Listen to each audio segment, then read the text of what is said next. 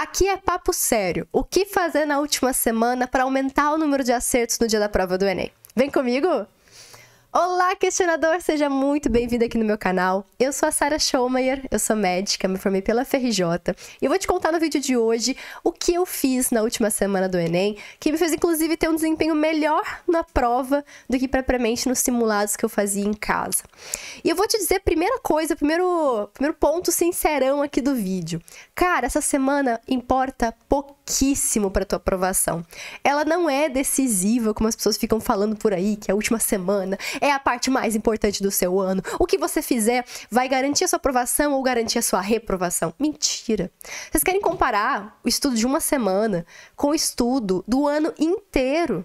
Sério? Ou estudo de vários anos, inclusive. Essa semana é insignificante. Esses dias que você fizer em termos de estudo são pouquíssimo importantes. Ah, a gente pode aprender uma coisa ou outra, a gente pode revisar, com certeza. Com certeza vale a pena estudar. Porque, inclusive, é, eu não gosto dos extremos. Acho que todo extremo agora é péssimo. Por exemplo, ficar sem estudar nada. Não, eu acho que é bem proveitoso estudar, não no sentido de revisar tudo. Você não precisa disso. Estuda de longo prazo, lembra disso. Não é estudo de véspera de prova.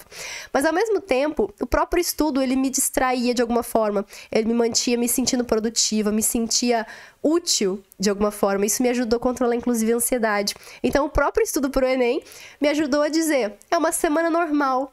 Se eu ficasse sem fazer nada, sem estudar, eu certeza que eu ia pirar, porque eu ia começar a pensar em um monte de coisa, ia começar a pensar em coisas negativas. Sabe, mente ociosa é isso. E a gente tem essa dificuldade de descansar, né? Aquela coisa, a gente descansa, mas a gente fica se culpando por não estar estudando, a gente fica pensando na prova o tempo todo. Então, estudar foi muito bom. Só que ao mesmo tempo tem a galera extrema do outro lado que fala que você tem que fazer prova antiga todo dia daqui até a prova. Qual o sentido disso? Para quê? Ah, para ganhar resistência. Cara, você vai ganhar exaustão. Você vai chegar na prova cansado. E vai, vai adiantar de quê? De verdade. Então, minha maior sugestão: pode estudar? Pode. Qual ritmo? Aumenta, diminui? O seu ritmo normal. Finge que não é semana de prova. Quanto mais normalzinho pro seu cérebro for, menos ansiedade vai ser, porque toda mudança gera ansiedade. Então imagina que você segue uma semana no mesmo horário, no mesmo ritmo, nas mesmas coisas que você faz. Então pode fazer simulado? Pode. Se você vem fazendo simulado, faça simulado. Se você quiser também, se não quiser, não se cobra por isso. E quanto menos você planejar, menos você vai se frustrar. Ou seja, aquela coisa, não, essa semana eu vou fazer três simulados, eu vou corrigir tal coisa, eu vou fazer três redações, eu vou. Pra quê? E se não der para você fazer uma redação, você vai se culpar por aquela redação que você não fez, em vez de de fato aproveitar todo o estudo que você já tem. Lembra, gente, estudo é uma coisa acumulativa. Não é da noite pro dia também que você vai esquecer. Então, Sara, se eu ficar uma semana sem fazer simulado, eu vou esquecer completamente como faz simulado. Não vai. Quantos simulados você fez? Entendeu? Não é uma semana ou outra que vai fazer diferença. O que, que vai fazer diferença para aumentar a tua nota no dia da prova? Emocional. Ansiedade cansaço. Você deve estar exausto nessa altura do campeonato.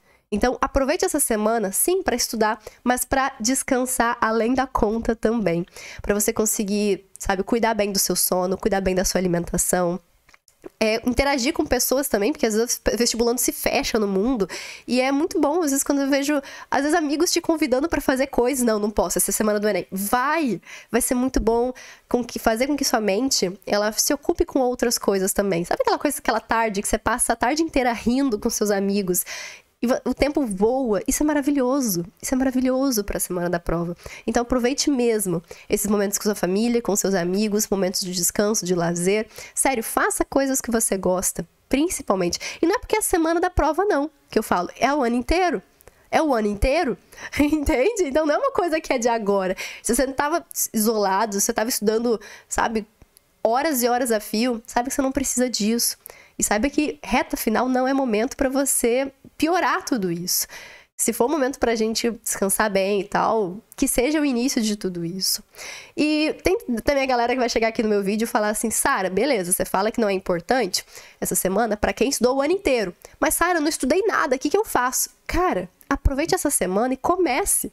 Porque essa semana, no longo prazo, vai ser uma semana importantíssima também. E vai para a prova. Mesmo que não tenha estudado nada, acha que não sabe nada, vai para a prova como se soubesse tudo. Para dar o seu melhor, para experimentar, para fazer as questões. Porque eu vejo muita gente assim, que está muito preparado, mas que começa a se colocar de um jeito negativo. Eu não sei nada, eu não me preparei direito, meu ano foi ruim.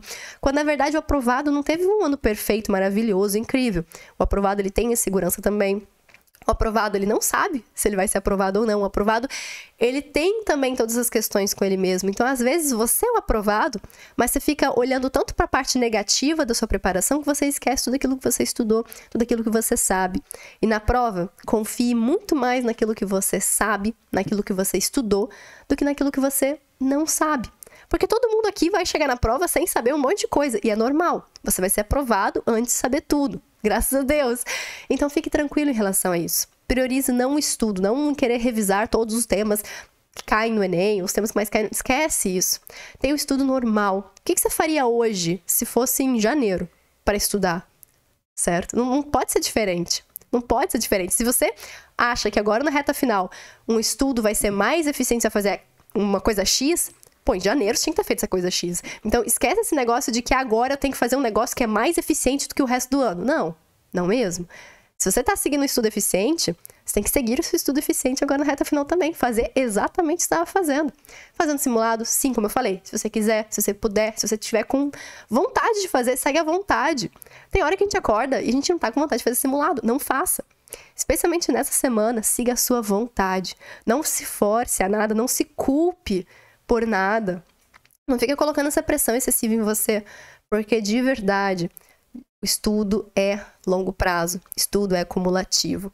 Dificilmente alguma coisa que você fizer ou deixar de fazer agora vai determinar a sua aprovação, a não ser, como eu falei, cuidar da nossa saúde mental. A gente tem que chegar bem na prova. A gente tem que chegar confiante na prova. A gente tem que chegar na prova sabendo tudo aquilo que a gente fez, olhando para trás e se orgulhando, não se culpando pelo que não fez. Se orgulhe pelo que você já fez. Pense sempre nisso, que você sabe muito sim. Você pode não se sentir preparado, o que também é normal, mas você tem que assumir sim que você sabe alguma coisa e que essa coisa eu vou aproveitar na prova. Eu vou dar meu melhor, eu vou lutar por cada questão. E também, ao mesmo tempo, eu vou continuar estudando, porque mesmo depois da prova, a gente vai descansar, claro, né? Vai tirar férias, vai descansar com certeza. Mas a gente não vai ficar dependendo desse resultado para continuar a estudar. A gente vai continuar estudando independentemente de qualquer coisa. Como é que foi a prova, se a gente sentiu, sei lá, que a gente vai passar, não vai passar, esquece isso. A gente vai seguir estudando. Dito tudo isso, eu quero que você leve uma semana o mais normal possível. E a única alteração, se for necessária, seria maior descanso, seria maior cuidado com a saúde mental. Mas isso não é exclusivamente reta final. Isso é o ano inteiro. Então, se você já tem se cuidado, se já tem tido uma preparação excelente nesse sentido, ou seja, eficiente, com poucas horas de estudo, mas muito bem aproveitadas, com muitas horas de cuidado para você, é só seguir e pode ter certeza que isso tudo, no dia da prova, vai fazer diferença.